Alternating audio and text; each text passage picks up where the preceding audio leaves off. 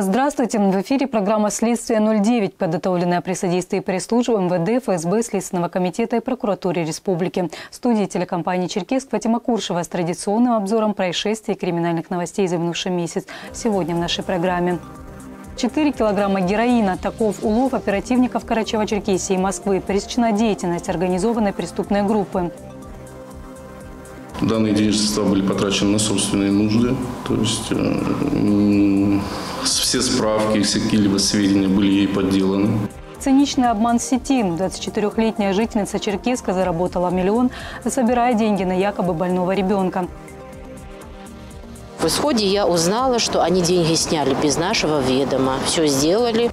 Планировала продать жилье, нарвалась на мошенников. Как жители республики попадают в руки аферистов, пытаясь обналичить сертификат материнского капитала. Со дня этой страшной аварии прошло уже почти полтора года. Почему предполагаемый виновник ДТП с двумя погибшими до сих пор на свободе? Это очень страшно. Вот когда заходишь на кладбище, э, вместо того, что там увидят э, пожилых людей, мы видим большинство там молодежь. Правила дорожного движения и заповеди Всевышнего. Что между ними общего? Инспекторы ГИБДД призвали на помощь священнослужителей, чтобы совместными усилиями попытаться изменить ситуацию на дорогах. Сколько фактов дачи и получения взяток было выявлено в этом году? Доходы и расходы чиновников подсчитали в прокуратуре Карачева-Черкесии. 28 августа этого года от Гихабльским районным судом Карачева-Черкесии вынесен обвинительный приговор в отношении восьми участников международной религиозной экстремистской организации «Ат-Такфир Вальхиджа». Деятельность этой преступной группы была пресечена в прошлом году. В результате проведенных управлением ФСБ во взаимодействии с МВД Республики мероприятий у членов организации было изъято огнестрельное оружие, электронные носители с материалами экстремистской направленности, а также религиозная литература экстремистского толка. В ходе расследования уголовных дел установлено, что молодые люди распространяли идеи радикального ислама и вынашивали намерения по созданию на территории Северокавказского региона государства шариатской формы правления. Фигуранты уголовного дела раскаялись полностью, признали свою вину и активно сотрудничали со следствием. Судебный процесс проходил в особом порядке. Принимая во внимание данные обстоятельства, суд назначил фигурантам наказание в виде лишения свободы сроком на три года, условно.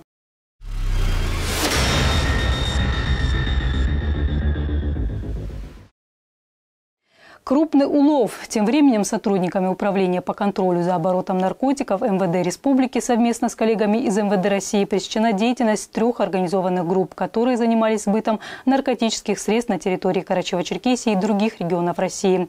В настоящее время задержанные находятся под стражей 10 активных ее участников. В ходе проведенных оперативных мероприятий в Москве и Карачево-Черкесии у данных лиц было изъято более 4 килограммов героина. По фактам сбыта и покушения на сбыт наркотиков приняты процессуальные решения. Возбуждены уголовные дела по признакам преступления, предусмотренного статьей 210 Уголовного кодекса Российской Федерации «Организация преступного сообщества или участие в нем».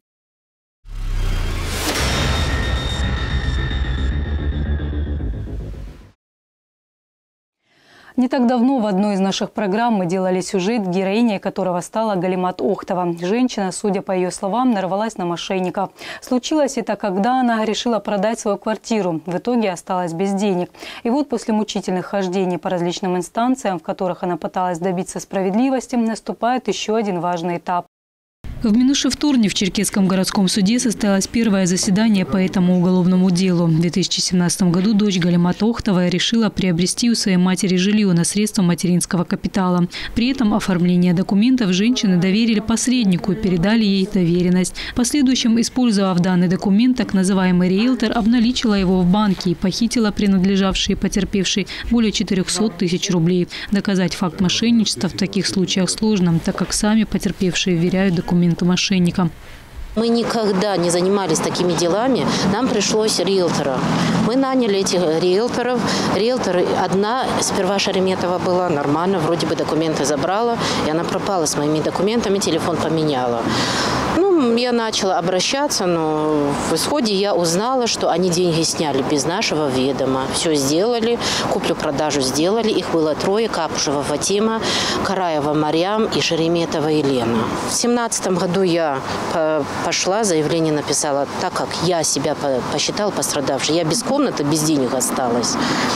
И вы знаете, что-то очень плохо было, потому что 7 месяцев меня почему-то полиция за нас водила, якобы уголовное дело идет. А на самом деле, когда я уже начала наверх идти, два месяца только они поработали, мое дело в архив сдали. Вот Караева, да, они втроем. У них, они все материнский капитал обналичивали, свои.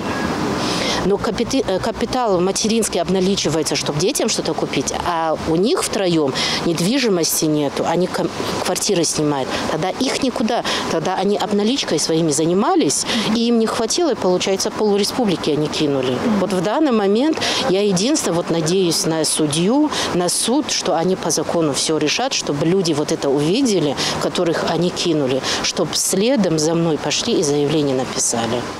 Женщина уверяет, что она не единственная пострадала от рук этих мошенниц. Увидев наш предыдущий репортаж, сделанный еще год назад, на связь с ней вышли еще несколько обманутых жительниц республики. Но в отличие от Галимат Кахаровны, они не обращались в правоохранительные органы. Ведь не секрет, что за незаконное обналичивание сертификата материнского капитала под следствие может попасть и его обладатель. Подобные обманы происходят преимущественно из-за незнания гражданами порядка распоряжения средствами материнского капитала. Люди обращаются к посредникам посредникам и зачастую становятся жертвами мошенников. И это в нашей республике далеко не первая группа лиц, которая попадается на подобном виде мошенничества. Еще одно уголовное дело было направлено в суд в 2018 году, и в сентябре прошлого года был вынесен обвинительный приговор в отношении трех жительниц республики, которые признаны виновными в совершении нескольких эпизодов мошенничества со средствами материнского капитала, совершенных в крупном и особо крупном размерах. Общая сумма похищенных денежных средств превысила 1 миллион 170 тысяч рублей. Обвинение в суде доказало, что соучастницы, имея правоустанавливающие документы на домовладение помещение, расположенное в селе Важное у Жигутинского района, и доверенность на право распоряжения им, ввели в заблуждение местных жительниц, которые получили сертификаты на материнский капитал и намеревались их использовать на улучшение своих жилищных условий. Получив от потерпевших доверенности на приобретение в их собственность недвижимости, Злоумышленницы заключили фиктивные сделки купли-продажи указанного недвижимого имущества и на основании чего впоследствии обналичили в банке по доверенности средства материнского капитала.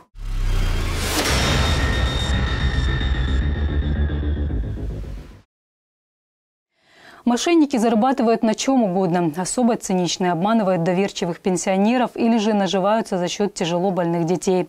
Если вы думаете, что в нашей республике нет таких аферистов, то ошибаетесь. В поле зрения полицейских недавно попала 24-летняя жительница города Черкеска. Как выяснилось, молодая особа зарабатывала на сердобольности граждан. В течение года она собрала около миллиона рублей. При этом ей даже не пришлось работать или прилагать к этому каких-либо усилий. Девушка разместила на своем аккаунте в Инстаграм фото девочки, которая якобы является ее родственницей и нуждается в пересадке костного мозга. После этого объявила сбор средств на лечение малышки. На мольбу о помощи откликнулись многие. Репосты со страницы девушки сделали в том числе админы популярных в нашей республике аккаунтов. Вот так, сами того не подозревая, они помогли мошеннице в ее обмане. Примечательно то, что аферистка умудрилась подделать справки. На документе в одном из фоторедакторов нарисовав фальшивую печать. Все это выглядело до довольно убедительно. В ОБОП МВД по Карачаевской Республике поступила оперативная информация о том, что неустановленное лицо на социальной группе Инстаграм разместило объявление о сборе денежных средств на ребенка. Э, в ходе проверки оперативной информации сотрудниками ОБОП установлено, что данное объявление липовое. Э, ребенка не существует такого с такими данными. Также выяснилось, что разместившим данное объявление была жительница Карачаево-Черкесской республики, а именно города Черкеска 97 э, года рождения порядка 23-24 лет ей. В ходе своей преступной деятельности данная гражданка собрала около миллиона рублей. Данные денежные средства были потрачены на собственные нужды. То есть э, все справки, все какие-либо сведения были ей подделаны преднамеренно. Воспользовавшись определенными программами, она начала убеждать людей о том, что данный сбор действителен, что необходим. Размещала данное объявление уже со своей страницы в различные группы масштабные с большим количеством подписчиков, чтобы осуществлялся наибольший сбор денежных средств. В любом случае, э, если осуществляется сбор денежных средств на человека, который болен там, или у кого какой-то диагноз, да, это, эти все болезни, они подтверждаются в первую очередь Минздравом. Да, есть соответствующие справки, соответствующие выписки из больниц, там, из больничного листа. То есть это все должно будет прилагаться к этому объявлению. То есть эту информацию надо проверять направлять запросы соответствующие органы. Недостаточно просто требовать у человека там пришлите нам ту справку, эту справку. Опыт показывает, что любую справку на сегодняшний день можно поделать. Все. А если вам из соответствующего органа, то есть из того же Минздрава придет официальный документ о том, что да, действительно у нас на учете есть такой ребенок, там человек с такой-то болезнью, то эта информация будет более правдива. К сожалению, сегодня таких лжеволонтеров развелось огромное множество. В нашей республике это первый подобный случай, но представьте, какое количество их по всей стране. Добросовестные благотворительные фонды и различные ведомства объединяют усилия, чтобы избавиться от проблемы незаконных сборов на лечение тяжелобольных детей. Зачастую аферисты просто копируют сканы документов, фотографии малышей из групп в соцсетях, которые ведут во время сбора родители, меняют данные реквизиты счетов и незаконно обогащаются. Способов обмана много, поэтому сотрудники Сотрудники полиции рекомендуют доверять только проверенным источникам. Это могут быть известные благотворительные фонды, аккаунты министерств и ведомств.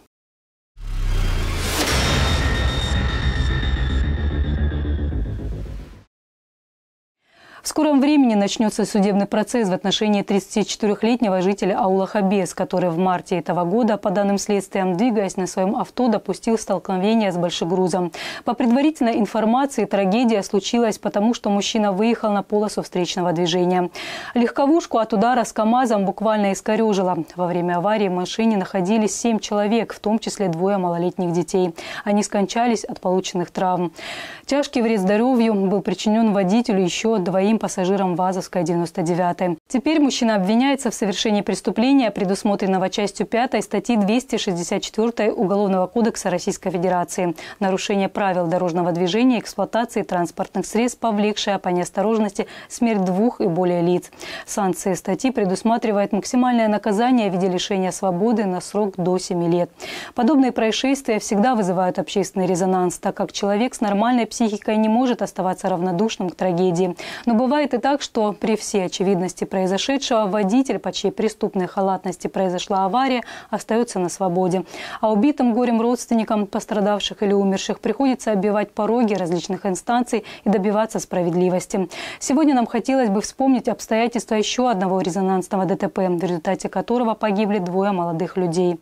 12 мая 2018 года на 44-м километре федеральной автодороги «Кавказ» водитель автомашины Toyota Prado выехал на полосу встречного движения и допустил столкновение с автомашиной Kia Rio. В результате ДТП, получив травмы, несовместимые с жизнью, погиб 19-летний пассажир Kia Владислав Гладской. Спустя три дня после аварии, так и не придя в сознание, в реанимационном отделении Карачево-Черкесской клинической больницы скончался еще один пассажир легковушки – наш земляк Аскер Узденов. Водитель искореженный от удара Kia также получил серьезные травмы. Предполагаемый виновник автоаварии, управлявший внедорожником, скрылся после происшествия. Родственники и свидетели уверены, что за рулем «Тойоты» был сейчас уже экс-мировой судья Урубского района Максим Якуш. По словам очевидцев, он находился в момент ДТП в состоянии алкогольного опьянения. В машине лежали алкогольные напитки, то есть пиво лежало и бутылка водки была.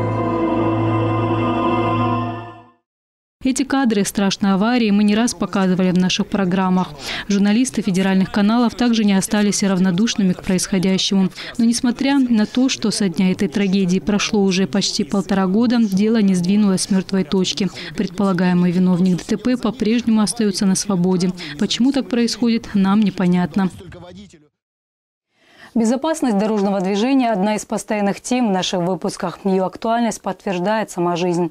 Лишь за одну неделю сентября в Карачаево-Черкесии было зарегистрировано 19 ДТП, в результате которых 29 человек были травмированы. Статистика не радует. Это несмотря на то, что за последнее время значительно увеличены штрафы за нарушение правил дорожного движения. На дорогах появилось еще больше камер фото и видеофиксации. Сотрудники госавтоинспекции проводят периодические рейды. Однако, несмотря на многочисленные мероприятия, мероприятия, направленные на повышение дисциплины водителей и пешеходов, количество дорожно-транспортных происшествий не уменьшается. Вот уж воистину остается уповать только на Всевышнего. В минувшем месяце сотрудники отдела ГИБДД по городу Черкесском встретили со священнослужителями, чтобы совместными усилиями попытаться изменить ситуацию на дорогах прошлом году правительством Российской Федерации была принята стратегия безопасности дорожного движения, согласно которой смертность на дорогах в 2024 году в нашей стране должна уменьшиться в несколько раз до уровня европейских стран. Пока же аварийность в Карачаево-Черкесии, как и по всей стране, это настоящее бедствие. Еще бы, ведь в ней соединились две исконные российские беды – дураки и дороги. Но если со вторыми за последнее время ситуация несколько улучшилась, то первые по-прежнему сплошь и рядом. Сотрудники отдела ГИБДД по городу Черкесску пытаются всеми способами повлиять на умы участников дорожного движения, как самых юных, пока еще пешеходов, так и опытных водителей. Среди них достаточно много верующих людей, а потому инспекторы решили использовать еще и возможность донести свою пропаганду через проповедь. Мы посетили городскую мечеть, находящуюся по улице Ленина города Черкесска, на которой провели беседу, э, на которой присутствовали имамы с обоих городских мечетей. То есть наша цель, чтобы на проводимых намазах они могли довести это для тех людей, которые посещают мечеть и церковь. Мы все остальные вообще осознали то, что в ПДД не зря написано, его надо соблюдать. Правила дорожного движения, как и законы Божьи, высшей ценностью ставят человеческую жизнь. В радикальном смысле она звучит как «не убей» ни себя, ни ближнего своего.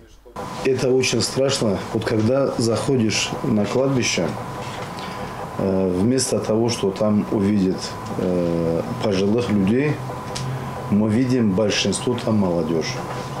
Если э, смотреть внимательно, это дорожно-транспортное происшествие. Каждый раз, когда кто-то звонит, говорит, это кто-то умер, боишься спрашивать, сколько им лет. Почему? Потому что это молодежь. Но Аллах Субханаху Ва сказал в Коране «Валя тактулю анфусакум» «Не убивайте самих себя».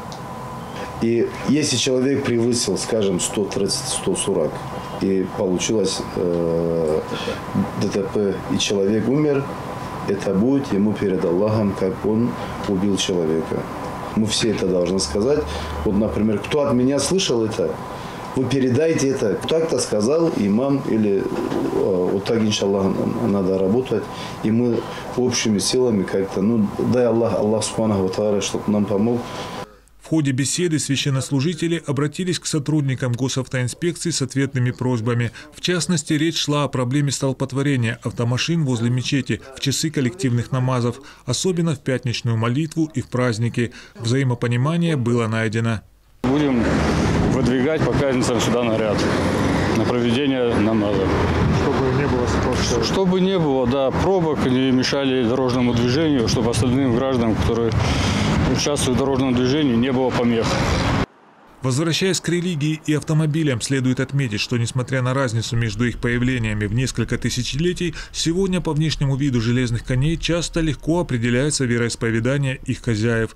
Религиозную символику вешают под лобовое стекло, наклеивают возле госномера и даже окропляют машины святой водой. Однако главный оберег для водителя – это все-таки его внутреннее понимание потенциальной опасности за рулем. Если угодно, его можно выразить и в таких простых и понятных пословицах, как «береженного Бог бережет» или «на Бога надейся, но сам не плашай». И мы с вами должны быть очень внимательными и в этой части, и в этой сфере нашей жизни. Будем очень внимательны к правилам дорожного движения. Не считайте это какой-то мелочью. Жизнь человека, здоровье человека – это дар всемогущего, милостивого Бога, Отца Небесного. И мы к этому дару должны относиться бережливо.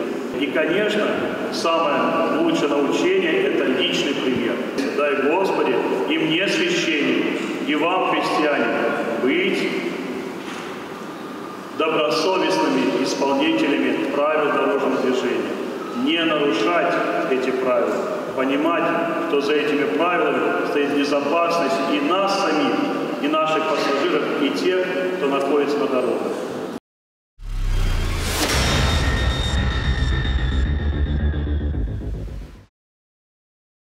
Сколько фактов дачи и получения взяток было выявлено в этом году? Сколько заработали и потратили чиновники и государственные служащие? Почему некоторые из них в декларациях забывают указать данные о своем имуществе? В прокуратуре республики традиционно подвели итоги деятельности надзорного органа в сфере противодействия коррупции. С журналистами региональных СМИ встретился старший помощник прокурора Карачева-Черкесии Али Макаов. За прошедшие 7 месяцев 2019 года Органами прокуратуры проведена большая работа по надзору за исполнением законодательства о противодействии коррупции. Выявлено чуть больше трех с половиной тысяч нарушений. Внесено около 1500 актов прокурорского реагирования, по результатам рассмотрения части из которых 482 лица привлечены, привлечены к дисциплинарной и административной ответственности. Большая часть этих нарушений, по словам старшего помощника прокурора республики, была вскрыта в ходе анализа информации, предоставляемой чиновниками, муниципальными служащими и другими должностными лицами в своих декларациях о доходах и расходах. По-прежнему в документациях находятся многочисленные несоответствия. В частности, в своих декларациях некоторые забывают указать не только принадлежащие им и их супругам автомобили, но и земельные участки. Нередки случаи, когда у чиновников находятся неотраженные в декларациях счета в кредитных организациях. Причем на некоторые из них по-прежнему поступают немалые суммы.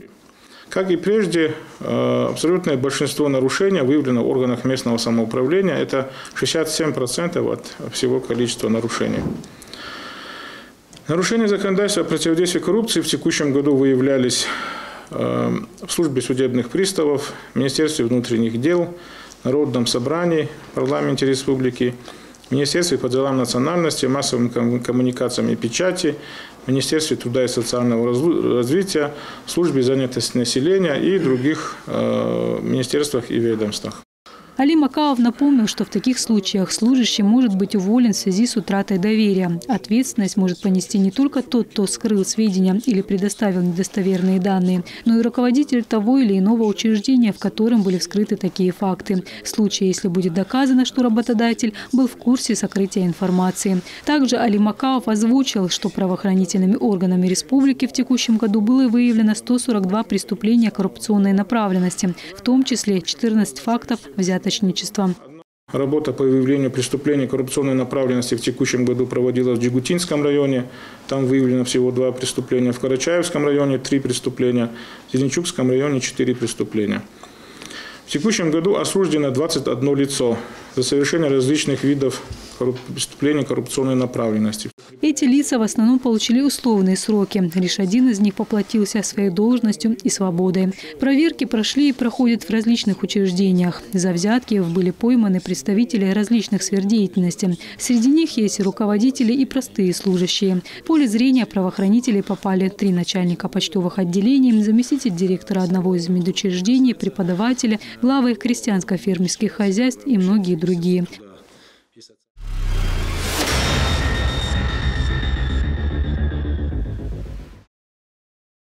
На этом наш выпуск подошел к концу. Если вы стали очевидцем какого-либо чрезвычайного происшествия, делитесь с нами в сети. Присылайте видео и фото на аккаунт телекомпании «Черкесск». Всего доброго!